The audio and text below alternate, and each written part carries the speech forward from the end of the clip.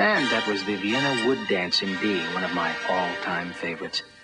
And now let's make that random call with today's $10,000 question. It's a tough one. Who shot Alexander Hamilton in that famous duel? All right, let's go to the phones and see who's out there.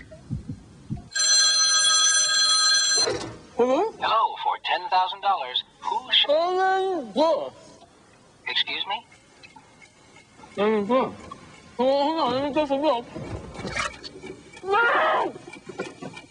I'm afraid your time is almost up. I'm sorry, maybe next time.